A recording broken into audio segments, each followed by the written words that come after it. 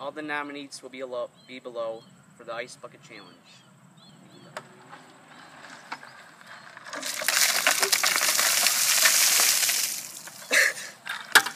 Okay, this is my turn of challenge.